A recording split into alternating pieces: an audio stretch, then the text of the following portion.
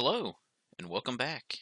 Uh, today we're getting into parent and child relationships and uh, the Born technique inside of Inventor. Uh, no, this does not mean I'm going to tell you how to parent your child. So what we're going to look at is understanding what the concept and the usage of the Born technique is, uh, how these parent-child relationships are important inside of uh, Inventor. Uh, we're going to talk about the suppress feature command, and how to resolve undesired feature interactions. So first off, we're talking about parent-child relationships, and it's one of the most powerful aspects of parametric modeling.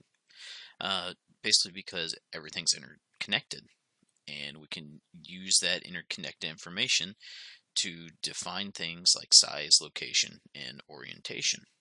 Uh, these relationships basically let us know how models are going to react. Now, the Born technique is something that we don't really do per se inside of Inventor. Uh, Inventor already does it for us. Uh, but BORN stands for Base Orphan Reference Node. Basically, the idea of this is that the first feature in anything that we do is a Cartesian coordinate system, which we said Inventor already does for us.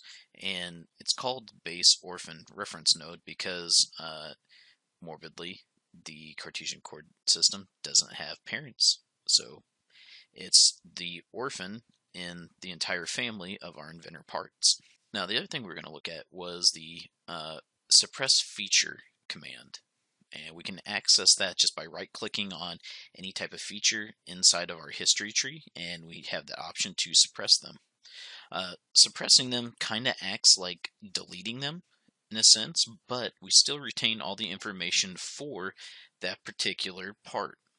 So even though I might delete a rectangular cut, that rectangular cut information is still going to be there when I suppress it. And this kind of suppressing of features gives us a uh, flexible design approach to where if we have a model that is very similar, we can go in and have it maintain these different features for slight changes in its design. So that's all we're looking at in this particular video, uh, basically talking about how the relationships between the different parts work uh, and how we can suppress different features and how those relationships affect different aspects of these different features when we suppress them. So in our tutorial video, we get into the actual application of these different ideas. So I'll see you in the next video. Uh, thanks again for watching, and as always, be inventive.